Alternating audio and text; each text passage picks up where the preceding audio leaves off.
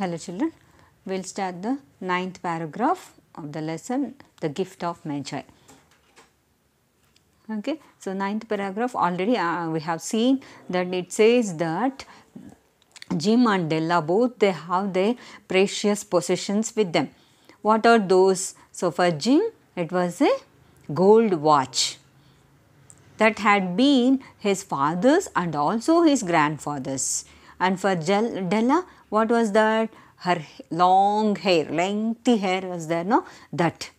So even both possessions have been compared to King Solomon's treasures and also the her hair that is Della's hair has been compared to Queen of Sheba. Okay. So, like that the writer has compared the two positions of Jim Della.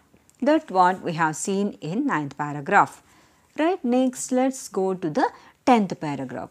So, as Della was thinking to buy a beautiful gift, a precious gift for her husband Jim, so she, she has decided to sell her hair, lengthy hair, so that she can get money because till then she she could able to save certain money. How much? Only 1 one dollar 87 cents she could save.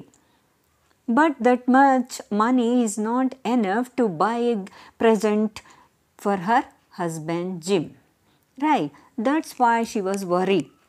So now amazingly she got an idea to sell her hair so that she can get little money some more money and they can she can buy a breast gift for her husband on christmas eve. That was her decision. Okay? Uh, so she pulled her hair long lengthy hair down and it was like a see here how they are comparing like a cascade of brown waters. It means that her hair also so beautiful and brownish hair you know right foreigners hair how it will be brown right? Little brownish will be there. So that was so beautiful and it was a lengthy hair and it, was almost reaching her knees.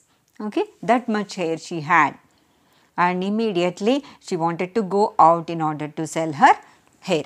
So on, on went her old brown jacket. She wear she was wearing some uh, jacket over her and went her old brown hat also. She put brown hat and with the whirl of skirts and with the brilliant sparkle still in her eyes. She fluttered out of the door and down the stairs to the street. So she went to the street downstairs as she was living in the another floor right? So she need to get down. So along with the steps she came out down so that she can reach a street. So there she went to the street. After that let us turn the page and it is 12th paragraph. Okay? So we have seen here. Could able to see the 12th paragraph. See what it says.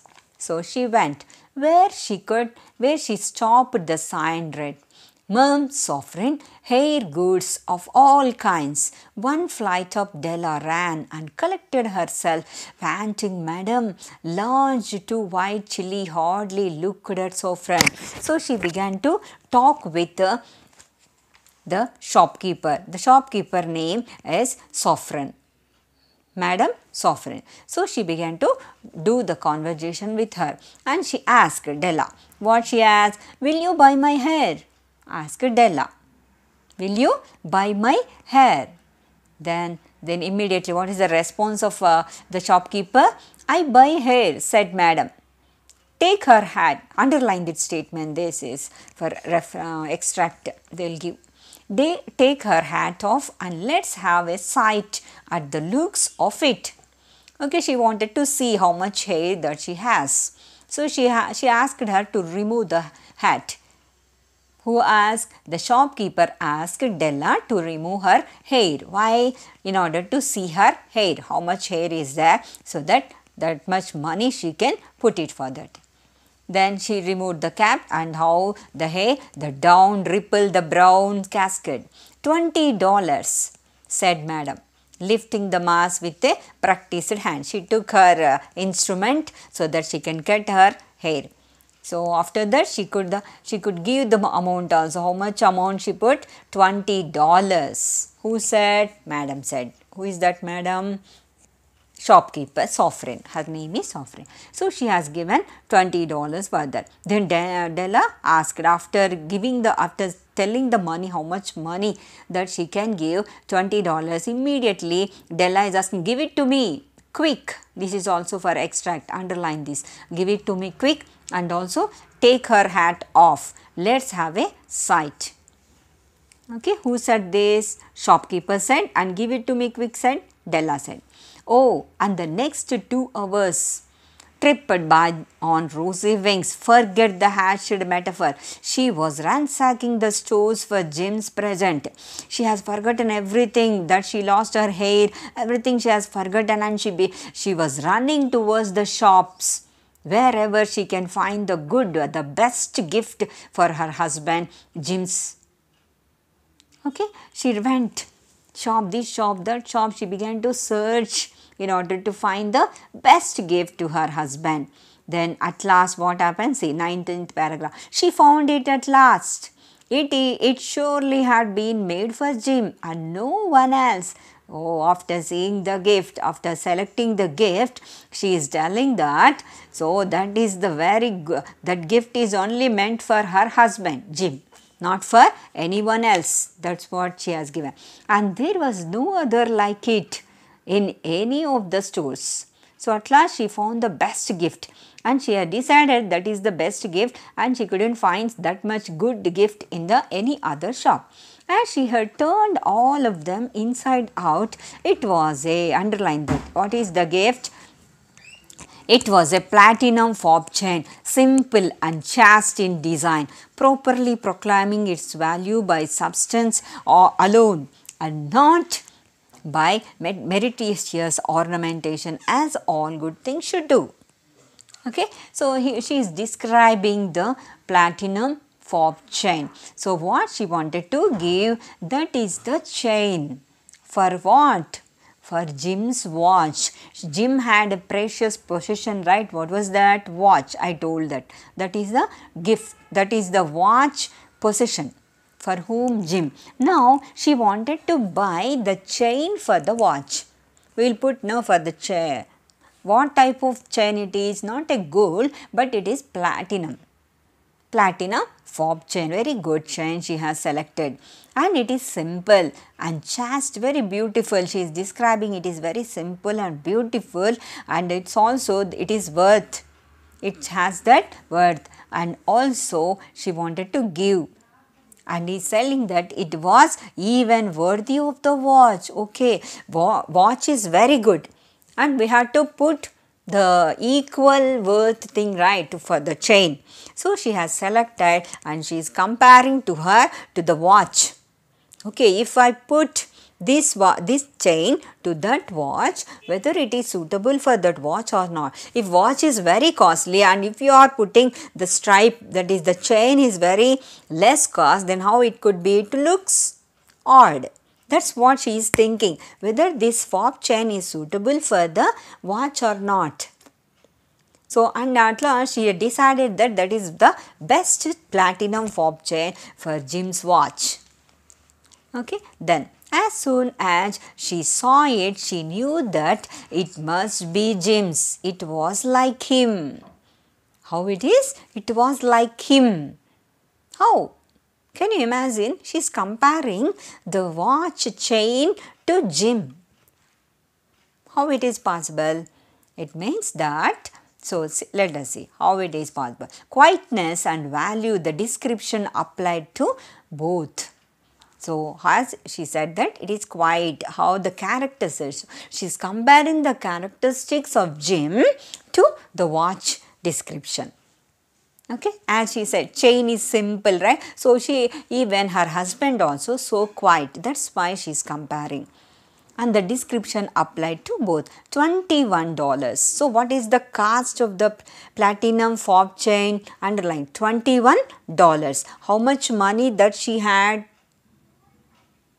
First she had $1.87 but after selling her own hair how much dollars she got? $20. So both if you add how much amount we get? $21.87. Now she is telling the cost of the fob chain is $21 and how much amount she would be?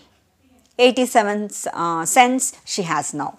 Right? Because she paid the $21. So, with that chain on his watch, Jim might be properly anxious about the time in any company.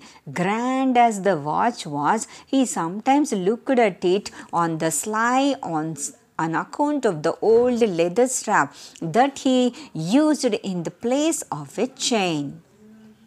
Okay, she is a little bit imagining how would have Jim with the old leather strap.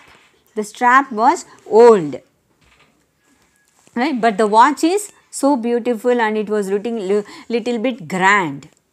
So, it, both are looking odd. That's what she is explaining here.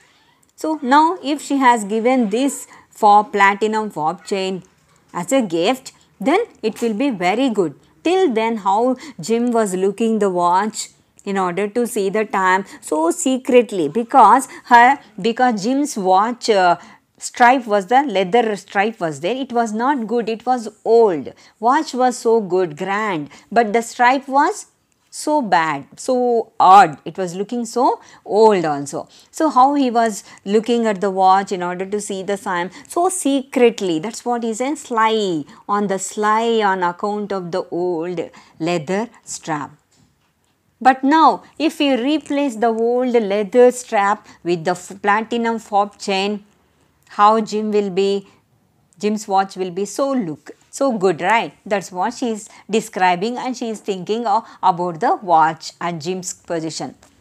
Then 20th para, let us see. When Della reached home, her intoxication gave way a little to prudence and reason. She got out for curling, curling irons and lighted the glass.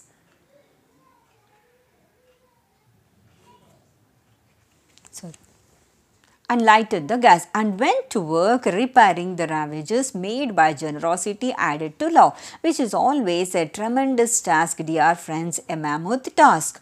Now, she, she took the instrument in order to cover her hair because she before she used to have lengthy hair so beautiful hair but now she has cut her hair now, in order to cover her head properly, what she was do what she was doing, she began to curl her hair by using the instrument. Curling irons means she has to take in some instrument so that she can curl her hair in order to cover her head properly and also to show more beautiful than earlier so that Jim will not notice her uh, her last of hair.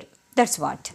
Then she did it. It was a means very big task. Anyhow, she has done. Within 40 minutes, her, ha her head was covered with tiny close-lying curls that made her look wonderfully like a truant schoolboy. How she began to look? She was looking like a truant schoolboy because she lost her hair right. Now, it is like a crop, that much only. Then she looked at her reflection in the mirror long, carefully and critically. She began to look how I was, how she was looking.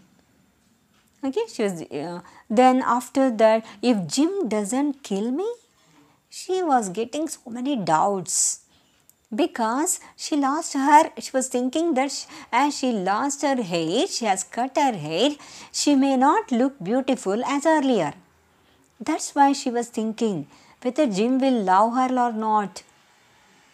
That's what she is. See, she is getting so many doubts. See here, if Jim doesn't kill me, she said to herself, before he takes a second look at me, he all he will say, I look like a Coney Island chorus girl. But what could I do? Oh, what could I do with a dollar and 87 cents? Okay, whatever it may be whatever he want to say he, he, he may say this like eh, I'm looking like Coney Island chorus girl but what can i do I have only one dollar eighty seven cents and I am desired to purchase a best gift to my husband. I can't do anything. So she was managing and she is making her own conversation like that. Then the next exactly at 7 o'clock her husband came. See here 23rd paragraph. Uh, at 7 o'clock the coffee time. It was coffee was made and the frying pan was on the back of stove hot and ready to cook the chops. So she began to do her kitchen work cooking work. She started 7 o'clock. Jim was never late. Jim, jim will never come late okay della doubled the fob chain in her hand and sat on the corner of the table near the door that he always entered she was sitting near to the door and she is waiting for her husband. And she knew very well that her husband will not come late. Then she heard his step on the stair away down on the first flight and she turned white for just a moment. She had a habit of saying little silent prayers about the simplest everyday things. And now she whispered, Please God, make him think I am still pretty. Okay, she began to pray to God. Okay, God, please make my husband to feel good about me. Still I am looking beautiful. Though I lost the hair, still I need to look beautiful to my husband. In the sight of husband, I need to, I should look good. So she began to pray like that.